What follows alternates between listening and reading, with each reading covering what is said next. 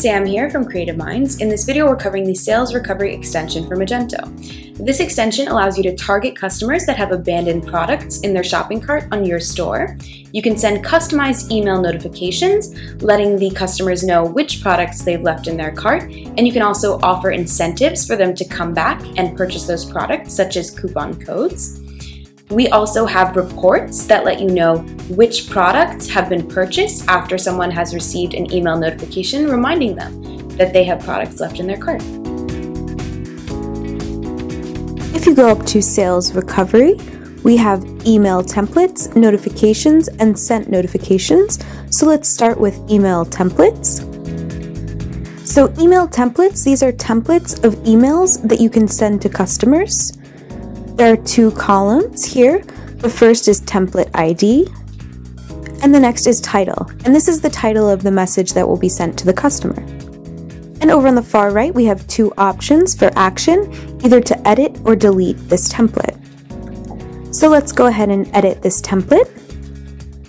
So first we have the template name, and next we have the message body. This is the body of the message that will be sent to customers in your email. So there are various formatting options for the template. For example, you can have multiple columns, you can insert text from Microsoft Word, images, etc. And you can choose to either show or hide this editor within Magento. Additionally, there are plenty of shortcodes that you can use to customize your email template for example, you can add the date of the quote, the quantity of the items, the currency used in the quote, the grand total of the purchase, as well as multiple shortcodes to personalize this email to the particular customer. You can also include a coupon code to encourage that user to get back and finish their checkout. There's also a special shortcode to loop in products to the email, and you can insert tags in this shortcode, for example, the name, an image, the quantity, price, etc.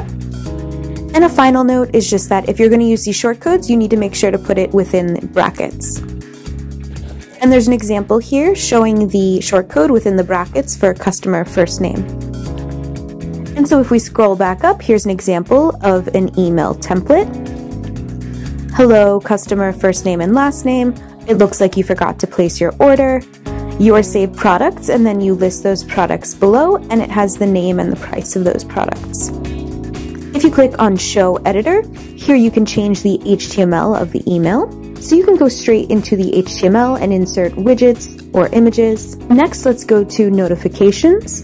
And here you can create different notifications based on a certain delay time in order to notify a customer that they have left products in their cart. So if we go ahead and click add new, here you can choose which template you want to use for this notification. Under send after, here you can choose how long you want that delay to be after the person has left the items in their cart, and the options range from one hour to two weeks. You can also add a customized email title, the sender name, sender email, you can also give the customer a percentage discount to further encourage them to return to your store. You can also define how long this coupon should be enabled, so the customer knows exactly how long they have to take advantage of this opportunity. So if we go back just to explicitly edit this notification, we will be able to send a test notification to see exactly what this email is going to look like.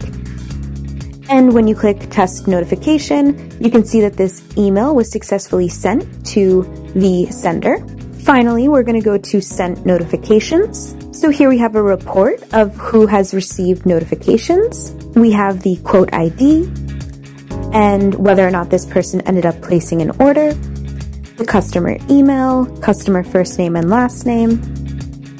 The recovery link brings you to the cart of that customer so that they can recover their products. And then we have cart amount, the discount value if it was applied, and when that notification was sent. In addition to filtering and sorting by all of these fields, you can also export the report to CSV.